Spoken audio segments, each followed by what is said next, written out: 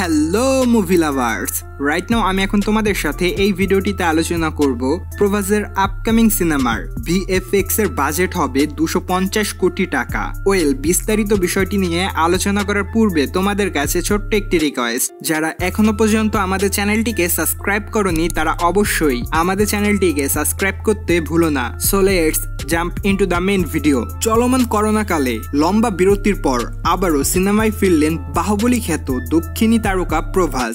Recently নিজের Instagram account থেকে এমনটি ঘোষণা দিয়েছেন এই তারকা। প্রভাসের আপকামিং এই সিনেমাটির নাম হচ্ছে আদিপুরুষ, যা ইতিমধ্যেই আপনারা সকলেই জেনে গেছেন। এছাড়া এই সিনেমাটি পরিচালনা করছেন ওম রাউত এবং প্রয়োজনায় থাকছেন ভূষণ কুমার।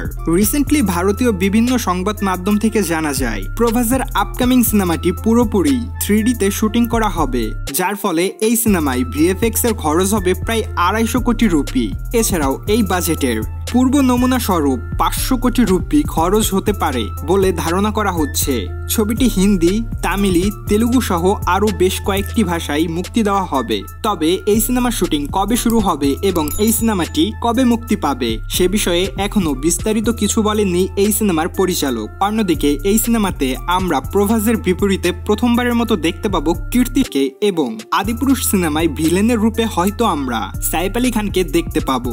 অন্যদিকে আদিপুরুষ ছাড়াও প্রভাসের হাতে রয়েছে নাগা আশ্বিন পরিচালিত আরেকটি ছবি, যেখানে তার বিপরীতে দেখা যাবে দীপিকা পাড়ুকনকে এবং এই সিনেমাটির প্রাথমিকভাবে নাম রাখা হয়েছে Prabhas twenty one.